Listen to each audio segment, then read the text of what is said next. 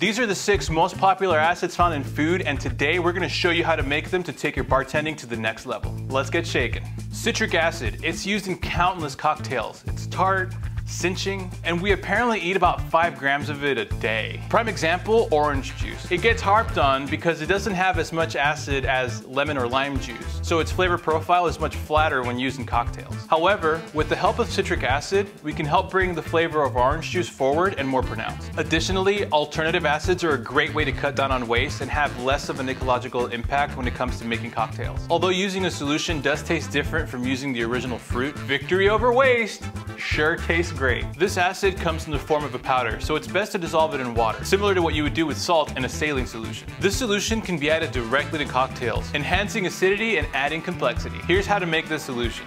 An extremely accurate scale is key for measuring out your ingredients. Combine 100 grams of filtered water with 25 grams of citric acid powder and stir until dissolved. This doesn't need to be refrigerated, so you can store this in a glass dropper bottle and place it in your bar at room temp. A teaspoon of citric acid yields the same amount of acidity as 3 quarters of an ounce of lemon or lime juice, but it isn't a one-to-one -one replacement for the flavor of lemon or lime. This acid excels when used in a cocktail that lacks acidity and needs an extra boost. Death & Co showcases the power of citric acid in their blood and sand cocktail. To get started, we're gonna add one ounce of scotch to our shaker tin. Next, we're gonna add 3 quarters of an ounce of Carpano Antica Formula Vermouth, 3 quarters of an ounce of cherry liqueur, 1 ounce of French orange juice, 2 drops of our citric acid solution, add ice, and shake. Double strain into a chilled coupe. Phosphoric acid is an acid that's used in almost all colas, including our sugarcane cola syrup. It doesn't have an odor or flavor. It simply brings a sour acid taste to your tongue. Though this ingredient isn't necessarily hard to get, it does come in a very concentrated form and it's very dangerous to handle. So we recommend you do some research for safe dilution and consumption. If you're looking for an easy solution, there is a product out there called Extinct Acid Phosphate made by Darcy O'Neill over at artofdrink.com. This product is already diluted and ready to use but it should still be used sparingly. It's recommended to use between half a teaspoon and one teaspoon. If you use too much, you're gonna end up with a metallic flavor. Let's use this in a cocktail, shall we? To our blender, we're gonna add four ounces of orange juice and one teaspoon of phosphoric acid solution. We're gonna blend that at high speed to fluff the orange juice. Next, we pour our orange juice into a Collins glass filled with crushed ice. Top it with one and a half ounces of Campari and garnish with an orange twist. The third acid we're going to be looking at is lactic acid. This acid is more commonly used to bring a creamy texture to a cocktail without adding milk or dairy products. Similar to citric acid, this comes in powdered form. Because of how strong this acid is, we follow the Death & Co recommendation of 1 to 9 ratio of water to acid when preparing it for cocktails. We're going to combine 90 grams of filtered water with 10 grams of lactic acid and we're going to stir until dissolved. Here at Liber, we use lactic acid to give some of our syrups a more round texture. And it comes in handy if a more round texture is what you're looking for in a cocktail. Let's make the Fig Blossom Collins cocktail with lactic acid. To get started, we're going to add half an ounce of caramelized fig syrup one and a half ounces of vodka, three quarters of an ounce of lemon juice, and one dash of lactic acid. Add ice and shake.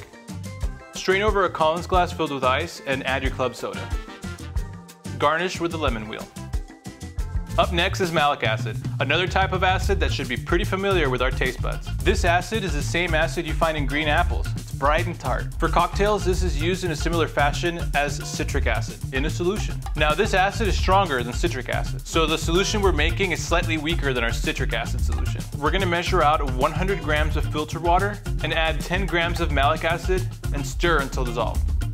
You can store the solution at room temp on your bar top no need to refrigerate. Malic acid is also used in syrups and we feature it in our Rio Red Grapefruit Cordial and our Blood Orange Cordial. In our Orchard Mai Tai, the apple brandy has to compete with bold flavors and spices. Adding a couple of drops of malic acid can help apple brandy shine and cut through this recipe. Let's make it. To get started, we're gonna add half an ounce of almond orgeat to our shaker tin, one bar spoon of demerara gum syrup, one bar spoon of ginger syrup, one ounce of apple brandy, one ounce of brandy, bar spoon of allspice dram, couple of drops of malic acid, and half an ounce of lemon juice. Add ice and shake.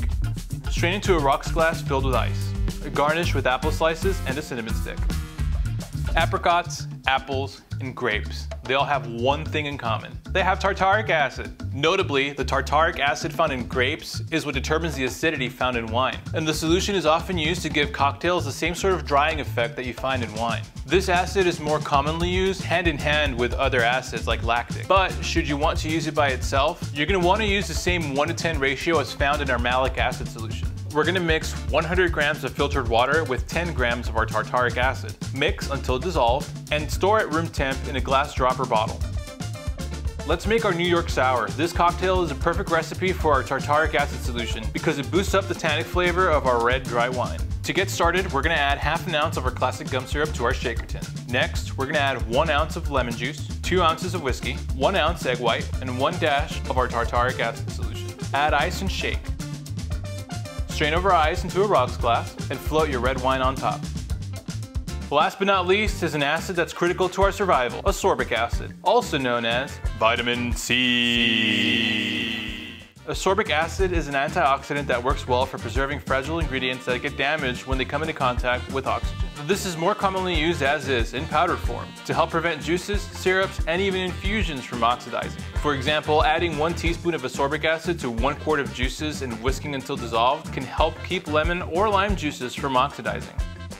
Additionally, switching out the juice for water can make an ascorbic acid solution that's ideal for rinsing fragile garnishes like apple or pear slices and help prevent them from browning. And there you have it, plenty of options for you to explore. I hope this helps you in your bar game at home. Let us know what cocktails you're interested in trying out at home. Until next time, cheers.